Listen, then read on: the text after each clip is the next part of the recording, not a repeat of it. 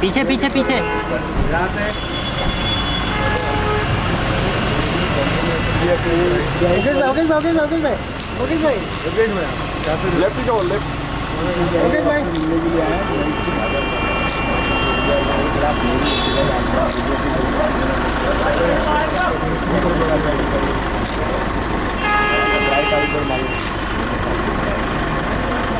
Sir sir sir सामने जरा sir. चलिए सर सामने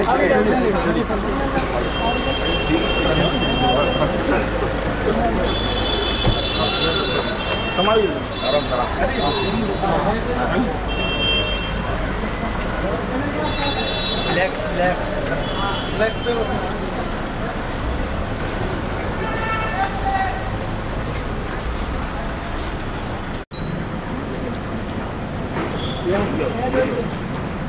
लेना हाँ। हाँ। ओके। तो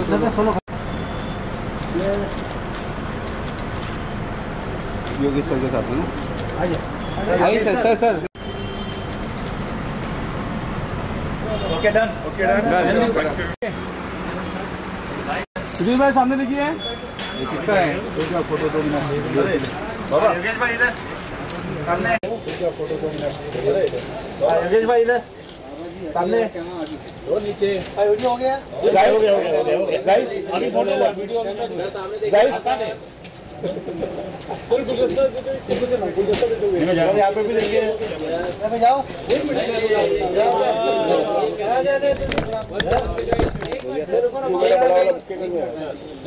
सर यहाँ पे भी देखिए। सर यहाँ पे देखिए यहाँ पे। सर फ़ोटो फ़ोटो बाकी। यहाँ पे यहाँ पे यहाँ पे sir sir.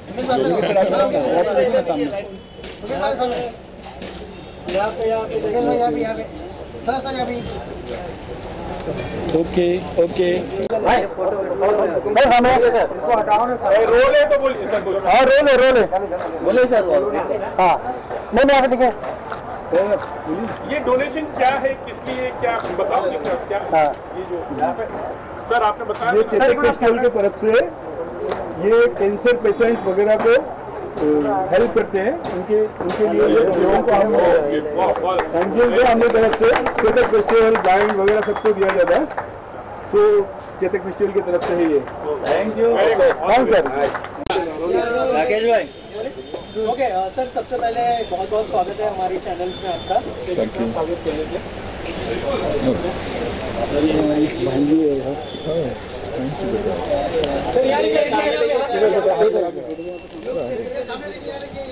Sir left right सब जगह देखिए। चलिए नेक्स्ट ओके भाई पहले प्रेस कॉन्फ्रेंस कर लो उसके बाद में स्वागत बाद में बस हो जाएगा ठीक है ना? राकेश भाई। हाँ स्टार्ट करें। सर सबसे पहले तीन सौ सालों से चेतक फेस्टिवल हो रहा है क्या कहना चाहेंगे? थोड़ा सा हमारी ऑडियंस को बताएँ चेतक फेस्टिवल के बारे में कि ये क्या है और क्यों मनाया जाता है? सर अगर उस बारे में कुछ बताएँ। देखिए 300 साढ़े तीन सौ साल पुराना एक हॉर्स का फेयर होता था। क्योंकि पुराने ज़मानों में हॉर्स या अश्व ट्रांसपोर्टेशन का एक मुख्य साधन था। पहले कोई गाड़ियाँ नहीं थी, कुछ नहीं था। उस वक्त युद्ध करना हो तो घोड़े की ज़रूरत है। ट्रांसपोर्ट कहीं जाना हो तो घोड़े की ज़रूरत है, घोड़ा गाड़ी की ज़रूरत है। इसलिए अश्व एक मुख्य साधन था। इसलिए अभी सारंगखेड़ा एक ऐसी जगह है, जो एक समृद्ध तापी नदी का बहुत बड़ा तापी रिवर है। उसका किनारा है। और उस पर अच्छा चारा पानी पानी सब वहाँ पे व्यवस्था होती थी। इसलिए पहले तो कोई बॉर्डर्स नहीं थे। तो उस हिसाब से अ, अरबस्तान से मारवाड़ से काठेवाड़ से पाकिस्तान कुछ एरिया से जो अश्व आते थे। और वो अश्व इंडिया में भारत में भारतवर्ष में आके तो सारंगखेड़ा रुकते थे। फिर वहाँ पे दो चार महीने रुकने के बाद में वहाँ पे अश्वों की खरीदी बिक्री होती थी, जिसको जैसी ज़रूरत होती थी, वो आशुओं की खरीदी बिक्री करता था। अश वहाँ पे राजा, महाराजा, सुल्तान, बादशाह, ऐसे लोग अपने युद्ध के लिए, अपने किसी के साथ, सेनापतियों के साथ बेच के वहाँ पे युद्ध के लिए अश्व खरीदी करते थे। जिनको अश्व शौकीन थे, जिनको अश्व पालन करना था वह वहाँ पे अपने पालन के लिए अश्व खरीदते खरीदते थे। ट्रांसपोर्टेशन के लिए कुछ लोग खरीदते थे और इसलिए वो ट्रेडिंग पहले से ही चलते आ रहा है। उसको साढ़े तीन सौ साल का पुराना इतिहास है। शिवाजी सावंत जी जो अपने मराठी में जो जानकार है उनको पता है कि उन्होंने काफ़ी कादम्बरी और उसका लिखान किया है। उसमें सारंगखेड़ा का, उसका भी ज़िक्र उसने, उसमें हुआ है। तो उस वक्त से वो एक ऐतिहासिक, उसको हिस्टोरिकल बैकग्राउंड है। और वो चलते आ रहा था वो हमारा ट्रेडिशन था। हम लोग उसका हमारे परिवार वाले उसका थोड़ा सा संरक्षण करते थे। और बाद में वो जैसा चलता रहा जमाना बदलते गया फिर हमने उसको एक फेस्टिवल में रूपांतरित करने की कोशिश की। और अ, 2011-12 से हमने उसको चेतक फेस्टिवल नाम दिया। ये चेतक फेस्टिवल नाम भी क्यों दिया? आप सबको पता है कि चेतक ये महाराणा प्रताप सिंह का अश्व था। वो लॉयल्टी की पहचान है। वो लॉयल्टी की एक चेतक एक पहचान है और उसलिए हमने उसका वो पूरा हॉर्स फेयर का हॉर्स फेस्टिवल का चेतक फेस्टिवल ऐसा नाम दिया। और उसको करते हुए हम आज त- यहाँ तक पहुँचे हैं। सर आपके पूर्वजों की जो लेगेसी है उसको आगे लेके जाना कितनी बड़ी रिस्पॉन्सिबिलिटी मानते हैं और कितना बड़ा चैलेंज मानते हैं मेरे पूर्वजों की कहने से तो ऐसा है कि सारे पूर्वजों की क्योंकि अश्व इंसान का, मानव का दोस्त तरीके से पहचाना जाता है तो लेगेसी है। लोग भूलने लग गए। कुछ दिनों में छोटे बच्चों को पूछो कि घोड़ा कैसा होता है तो वो बताएगा कैसा होता है।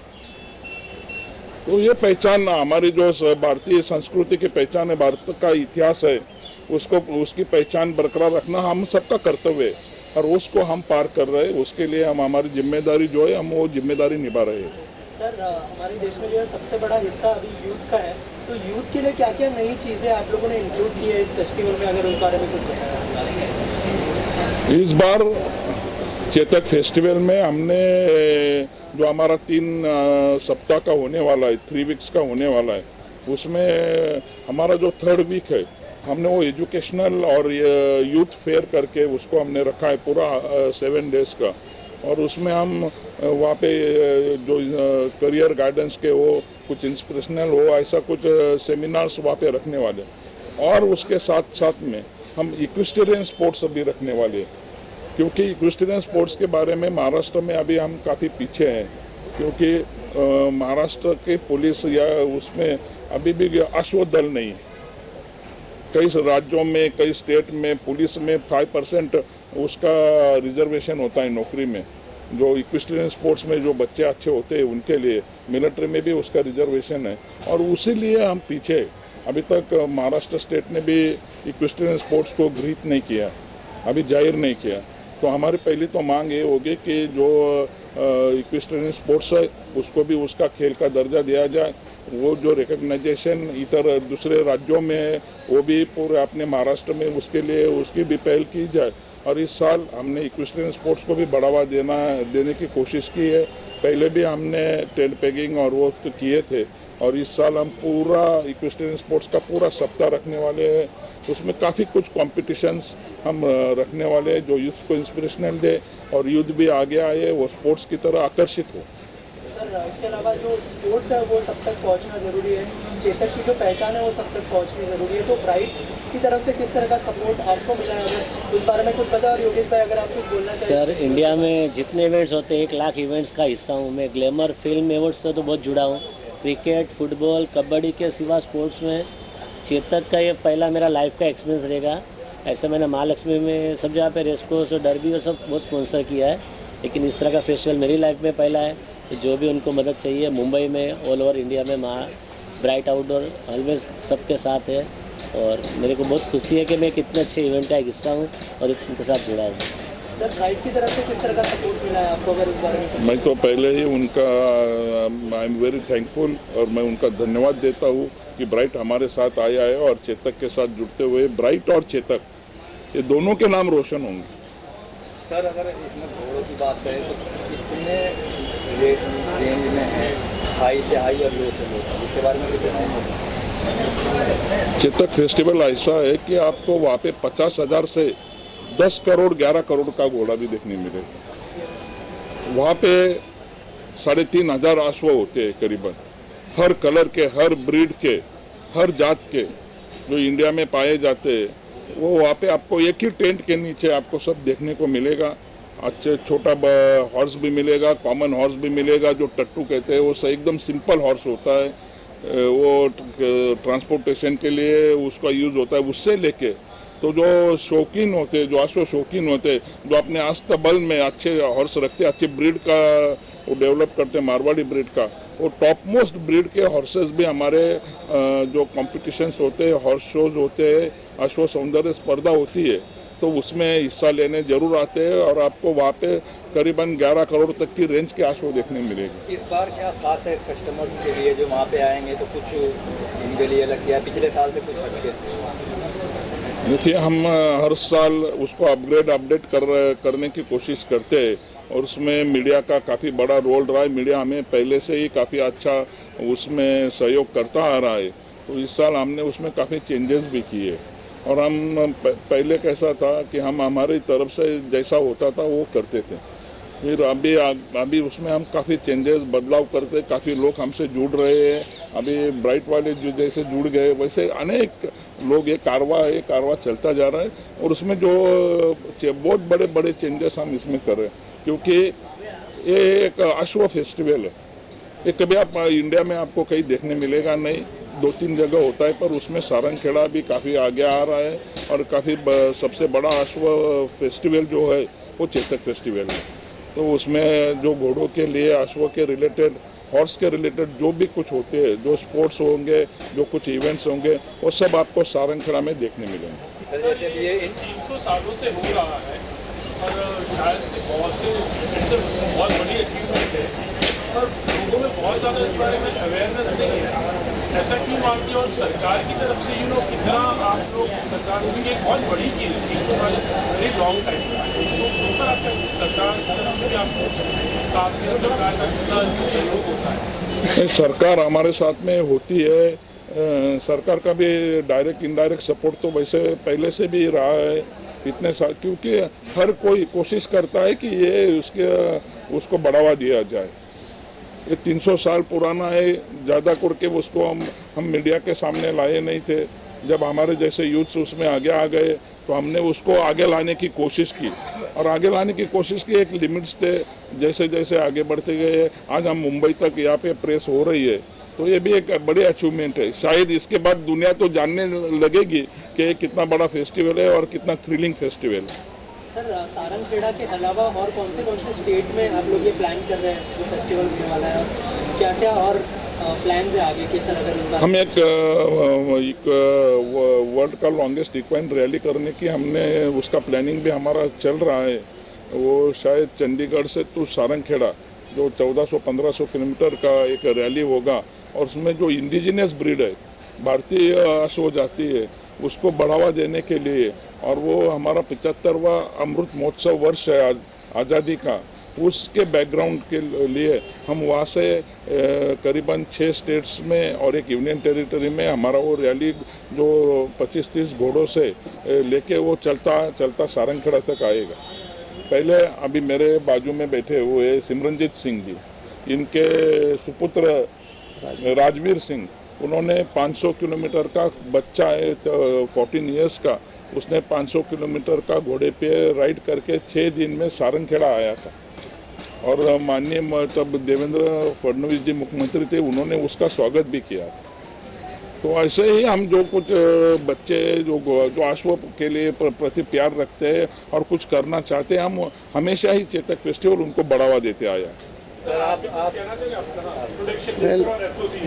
मेरा नाम सिमरनजीत सिंह है। मैं अकोला, महाराष्ट्र से हूँ और मुन्ना दादा के साथ सारंग खेड़ा फेस्टिवल में स्पोर्ट्स और यूथ अवेयरनेस की तरफ़ मेरा ज़्यादा ध्यान है। जैसे मुन्ना दादा ने कहा कि इस साल हम लोग स्पोर्ट्स का जो वीक है, वो यूथ इसके तरफ़ ज़्यादा से ज़्यादा अपना रुझान दिखाए और इस इस बार हम स्टेट्स स्टेट को अपील कर रहे हैं कि जो सारंगखेड़ा में इक्विस्टेरियन स्पोर्ट्स होने वाले हैं, उसको एटलीस्ट इंटर स्टेट का कंपटीशन का दर्जा दिया जाए, ताकि वहाँ जो भी पार्टिसिपेट करे, उसको एक सर्टिफिकेट मिले और उसकी कोई अहमियत हो, जो उसको एकेडमिक्स में आगे हेल्पफुल हो। मुन्ना दादा के प्रयत्न से हम लोग यही वीक में गवर्नमेंट के साथ भी कम्युनिकेशन करने वाले हैं और मेरे साथ जो हमारे स्पोर्ट्स को देखने वाले हैं, mister Nabeel who is also present here is also record holder for India इन्होंने काफ़ी सारे स्पोर्ट्स किए हैं यूथ के साथ। तो we together as a team हम लोग कुछ ऐसे स्पोर्ट्स लेके आएँगे जो कन्वीनियंट भी हैं और आम तौर पे जो बच्चों को खेल, खेलने के लिए बहुत सरकारी परमिशनें आर्मी का बैकअप या पुलिस का बैकअप लगता है, उसके बावजूद उसको इजी एक्सेस देंगे स्पोर्ट्स का। मुन्ना दादा का एक और सलकम प्रोजेक्ट है कि महाराष्ट्र में हॉर्स प्रीमियर लीग शुरू हो तो वो भी जल्द सारंगखेड़ा से किक स्टार्ट होगा सर ये महँगा शौक है महँगा स्पोर्ट्स कह सकते हैं कोई भी शौक और कोई भी स्पोर्ट्स महँगा नहीं है अगर वो आपके बच्चे को फेम देता है सही मानिए क्रिकेट से तो सस्ता ही है okay thank you so much visuals वगैरह है